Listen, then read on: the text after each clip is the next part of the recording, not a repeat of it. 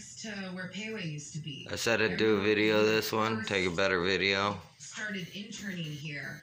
There was a pet store over there. Where? Right over there next to like. This is David Lanning. This is one of my paintings. What part of town? East side. Oh.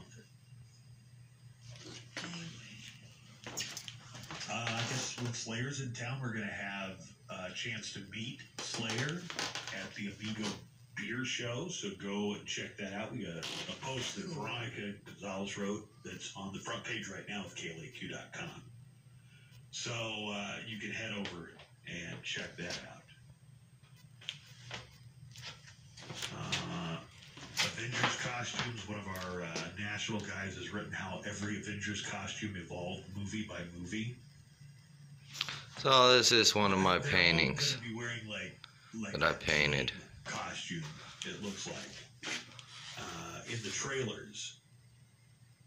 And I'm not saying the only reason was to sell toys, but you know that's part of the reason. Yeah, It's like, yeah, hey, we're gonna yeah. we got to change it up a little bit so we can put out a whole new line of toys that kids are gonna ask their parents. It's buy. why it's why professional sports teams will do like their alternative jersey, where you have the home jersey, you've got the away jersey, and then you have this kind of extra one. Look at that. it's to sell jerseys. Such a beautiful painting.